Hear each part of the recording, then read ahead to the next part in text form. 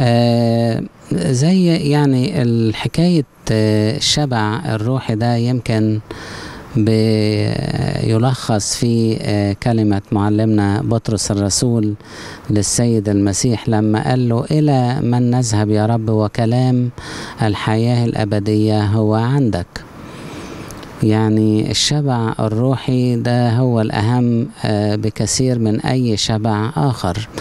لأن شبع الروح هو بمعناه أو في معناه هو رضا النفس آه، والإحساس أيضا برضا الله على الإنسان وأيضا الغبطة والسعادة التي تجتاح قلب الإنسان عندما يشبع روحيا. يعني شوفوا لما الإنسان آه، يحضر القداس آه، ويسمع كلمة ربنا وبيتناول ويسمع قراءات آه، يعني في داخل القداس بيحس قد إيه إن هو بعد ما خلص القداس وروح تحس يحس قد إيه إن هو شبعان.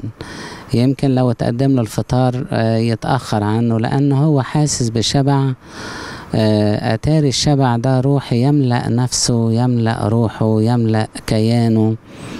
آه، نلاقيه في غبطة وسعادة روحية ليست آه، مصدرها يعني سعادة العالم أو فرح العالم أو فرح الشبع آه، بالعالم ومقتنياته لكن شبع روحي يعني نادر نادر في آه، معناه ونادر في آه، موضوعه وشكله.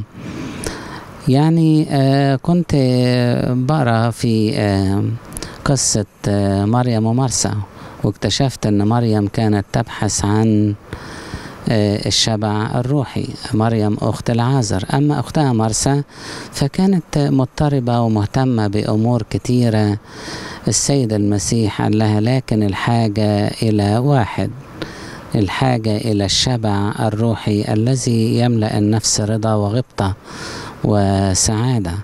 فالسيد المسيح قال لمرسى أن مريم قد اختارت النصيب الصالح.